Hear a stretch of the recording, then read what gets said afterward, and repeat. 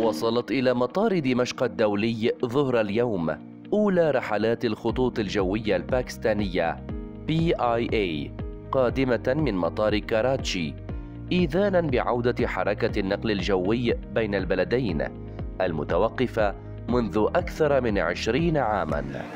نحن مسرورون جدا بهذا اليوم الذي نرى فيه بعد توقف دام أكثر من عشرين سنة. للخطوط الجوية الباكستانية أن تتواجد في دمشق اليوم على أرض مطار دمشق الدولي.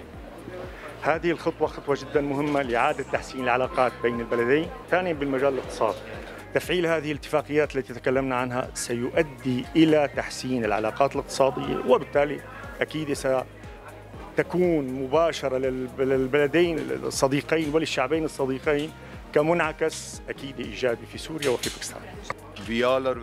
نحن أولا نود أن نعبر عن سعادتنا وشكرنا لوجودنا في دمشق في الرحلة الأولى لخط الخطوط الدولية الباكستانية.